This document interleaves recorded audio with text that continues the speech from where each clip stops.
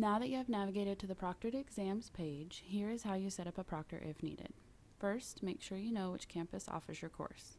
If your online course is through the University of Alaska Fairbanks or the University of Alaska Southeast, you should visit that campus's e-learning site linked here.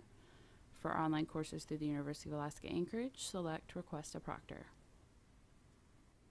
There are two forms shown here. You only need to complete one of them and only once per semester. If you are near one of the cities listed here, then you can select the Proctor Request Form link. Complete each field. Highlight multiple courses by holding the Control button on your keyboard while using your mouse to select the necessary courses. The pre-approved proctor sites are shown in this drop-down list. If you are in a more remote area or out of the state, then you will need to submit the alternate proctor form. Notice this form is a document that will need to be printed. The guidelines for an acceptable proctor are listed here.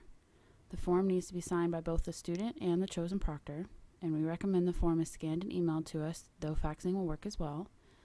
Mailing is an option, but be mindful of the time it'll take to arrive. Please be aware of a few policies. Each student is required to submit one proctor form per semester, only resubmit a form if the proctor site needs to be changed.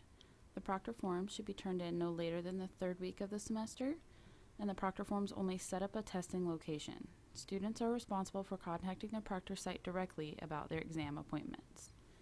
If you do plan to test in Anchorage, you can click here to see the test center hours and request an appointment.